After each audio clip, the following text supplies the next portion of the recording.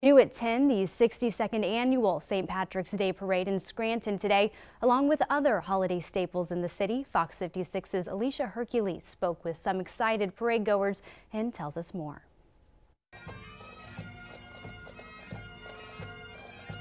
Before crowds began to gather on the parade route, many Scrantonians kicked off their St. Patrick's Day festivities with Mass at the St. Peter's Cathedral. More than 100 people filled the pews as Bishop Joseph C. Bambera led Saturday's Mass. And after, many lined the streets of Scranton to see the parade that has become a staple of the city. Before it started, I caught up with Pennsylvania Senator Bob Casey, who says this parade in his hometown will always have a special place in his heart and the community.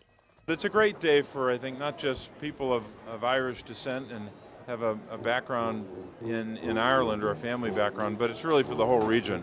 People come together of all different, uh, all different um, ethnicities and, and perspectives to celebrate St. Patrick's Day, and it's a good day for the, the community.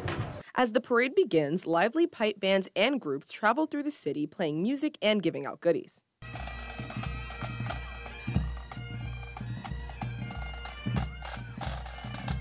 Gabby Henahan, there to enjoy the parade, says the candy is her favorite part.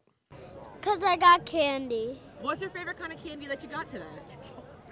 Sour, Sour Patch Kids. Despite the celebrations, it began to rain, at some points heavily, but the rainfall did not stop parade goers from enjoying the day.